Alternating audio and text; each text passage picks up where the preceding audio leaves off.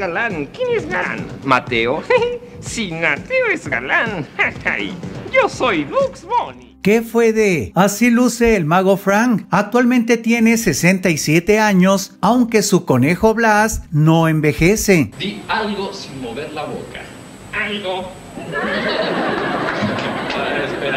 Francisco Suárez es el nombre real del mago Frank. La historia comenzó a sus 11 años de edad. Todo empezó en la fiesta de una de sus hermanas, cuando vio al mago Enrique Partida Bush realizar sus trucos, quedando impactado por lo maravilloso del show. En ese entonces el mago le enseñó el truco para mover una moneda entre los dedos. Entonces Francisco le dijo a su madre que para el año siguiente él sería el mago en la fiesta de su hermana. Un mes antes de ese día aprendió de una enciclopedia llamada Mis primeros conocimientos otros tres trucos de magia con los cuales logró entretener a la gente. El 2 de marzo de 1968, con tan solo 12 años, realizó su primer show ya de manera profesional y por el cual recibió un pago, pues una de las amiguitas de su hermana había quedado encantada con él, tanto que le pidió a su mamá que lo contratara. A partir de ese momento continuó su entrenamiento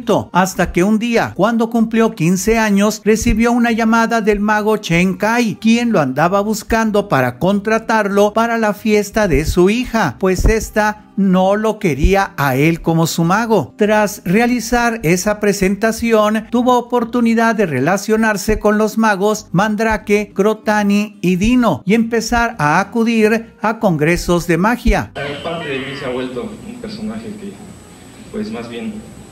No sé si yo le ayudo a él o él me ayuda a mí.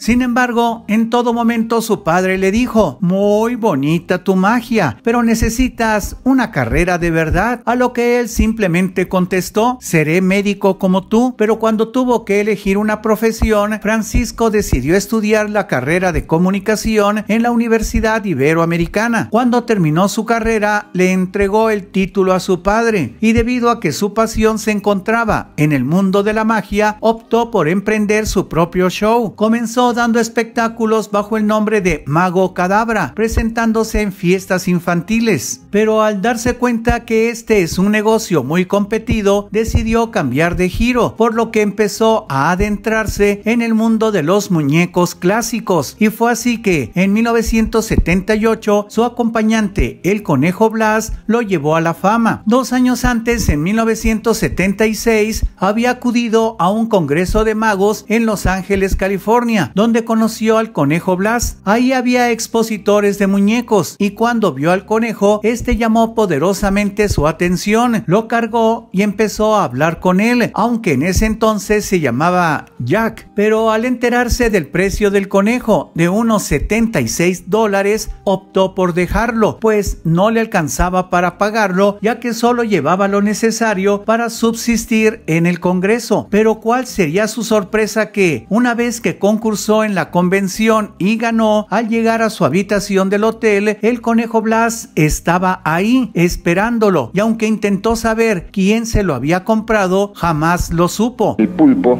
es molusco. Y el plato lleno de Moluscomemos.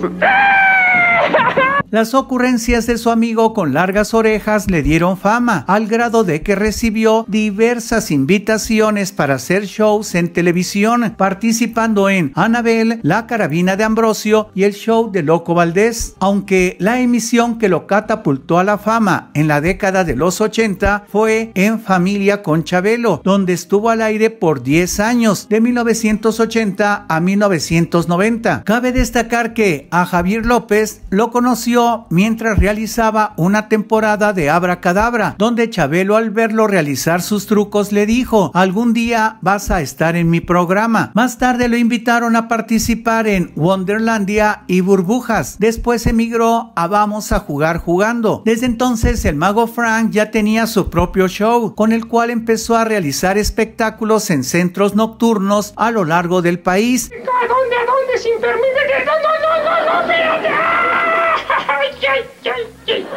Dándole un giro a su show infantil para dirigirlo a un público adulto también. A lo largo de su trayectoria se ha desempeñado como escritor y guionista para radio y televisión, además de ser ventrílocuo, actor y mago. Incluso es autor de cinco libros. Posteriormente creó junto a su hijo Enrique Suárez Olmos la miniserie musical del mago Frank y el conejo Blas titulada desde mi conejera. En cuanto a su vida personal, es padre de Miguel Inmida, un joven youtuber que gusta de bloguear su vida en Corea junto a su esposa e hijos. Actualmente el mago Frank, de 67 años, se presenta cada lunes en el Teatro Sohem Wilberto Cantón, como lo hace desde hace 18 años, para presentar a manera de monólogo la historia de Gazapo escrita por él. Estaba yo guardando al conejo. llamaron por teléfono. Bueno, platicas tú, platico yo. Yo. Bueno, pues tú. A ver, vas. Bien, si deseas saber más de alguna famosa o famoso, escribe en los comentarios. Y si te parece interesante este video, dale me gusta, compártelo con tus amigos y suscríbete a este canal. Soy Marco Antonio Velázquez. Hasta la próxima.